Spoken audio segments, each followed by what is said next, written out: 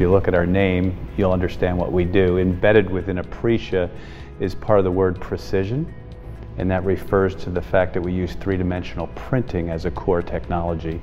And so we're making pharmaceutical products using three-dimensional printing, which makes us very unique because we're the only company in the world who does that today.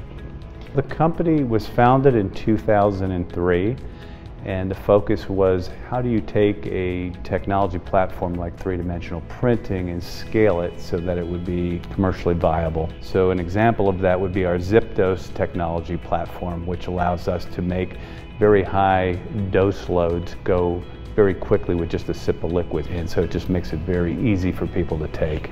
So really over the last 10 to 11 years, we built the equipment that enabled you to do this at a commercial scale. Uh, we developed pharmaceutical products using that equipment. We filed that with the FDA. We received approval from the FDA. We're launching our very first 3DP product into the marketplace. Um, so with that, you're a first mover in the space, and as a first mover, you want to take advantage of it.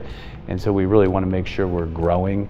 And to grow, we need additional equipment. Uh, we need to do more R&D, and you need a facility in which that can occur. And um, here in Blue Ash, Ohio, we found a facility that we think is going to meet a lot of those needs going forward. So we expect to grow with each new product and you know we would imagine growing to 150 plus employees over the next you know three to five years.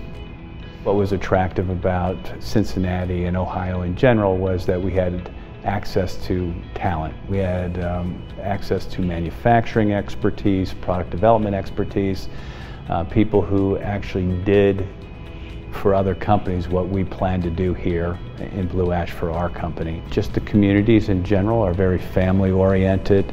Um, there's a lot to do here culturally. You have professional teams, you have great colleges, so there's just really a lot to offer in this area. So to me it would make sense for people to really seriously consider.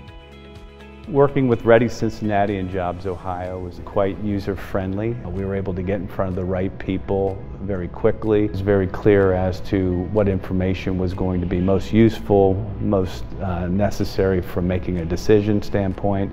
Uh, we were able to get that together quickly and provide it. So overall the experience was very positive, uh, and they were very easy to work with when I look at what I really enjoy doing, what I want to be involved with, it's about building. Really, it's about how do you take a new technology, something where you can be the first in the world to do it, and you can um, get people excited about being part of that, and then you know, the company's excited about what we can do.